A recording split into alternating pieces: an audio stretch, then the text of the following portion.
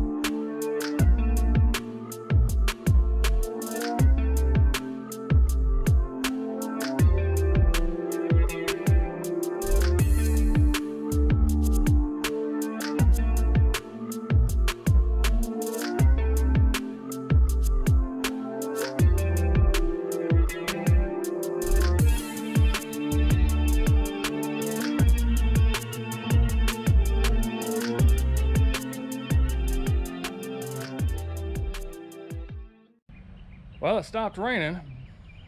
Had to take a short break for a little bit, then got back to work and got a little bit more done. So there we go. We've got that side done. Passenger side, and then we'll double check the driver side from earlier. Looking pretty good. I mean, by all means, it's not perfect. I am not a welder by trade or body man by trade. I just know how to do stuff. This is how I'm getting it done. So thanks for sticking around. Another little item checked off the list. Four hours later. Man, it takes a lot of time to get this stuff done. Anyway, thanks for sticking around. I appreciate you being here. Each and every single one of you. Thank you from the bottom of my heart. Till the next time, guys, be kind to one another and be good.